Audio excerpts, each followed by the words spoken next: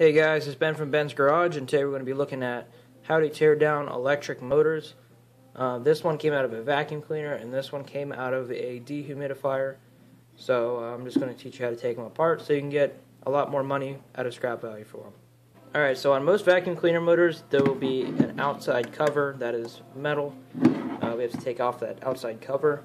So uh, on this particular motor, there are Phillips head screws that line around the outside of it. So we're just going to take these screws off, and then that'll get us to the inside of the motor.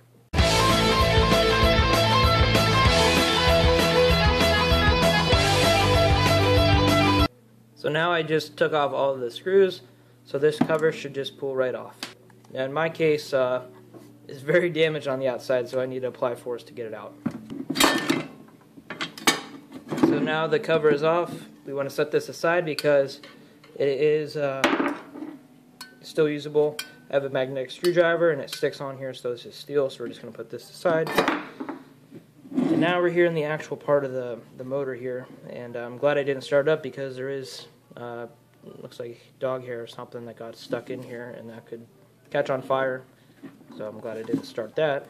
But anyways, so now I'm just gonna, so now I'm just going to get a hammer, and all you have to do is just hammer the, the shaft here and hold onto this base, and then the whole thing should just pop right out. Just like that. And so now on the inside there are some copper wiring that can be unraveled. This is what we're going to work with next. Uh, this, we're going to put this aside because this can still go in as copper. I think it still goes in as a motor though. But there is absolutely no way to tear these things down as of what I know. So I'm just going to put this aside and I'm just going to focus on this.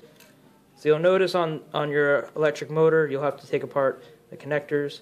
Uh, there's one here, and there's one here, and there's uh, just a Phillips head on there, so you just have to take those.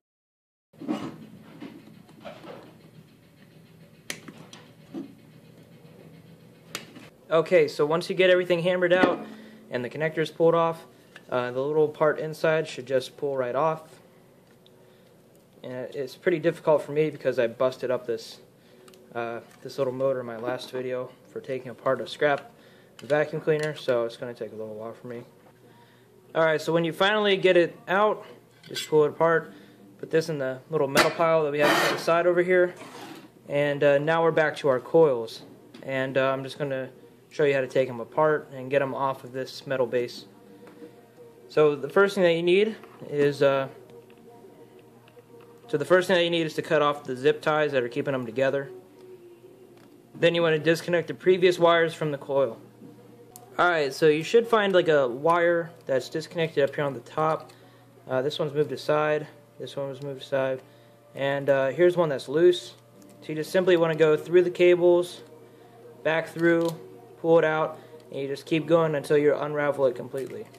And then you do the same thing on the other side.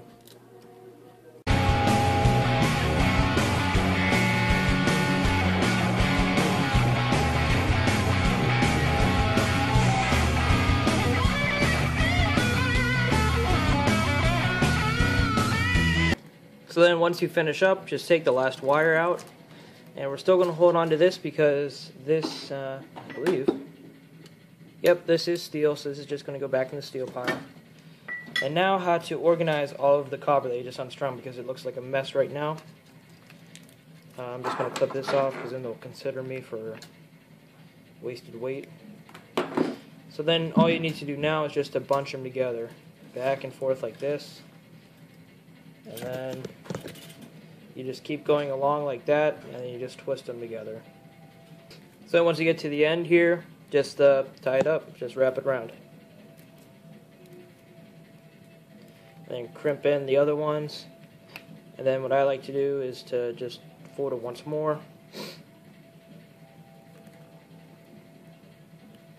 And that is just that was just one side I believe. Yep and I have another side to go and so that's what you get out of a vacuum cleaner motor. You get a little bit of copper, you get a lot of steel, and a little bit of some other copper miscellaneous. So that's how to scrap a little electric motor. Thanks for watching, subscribe and like.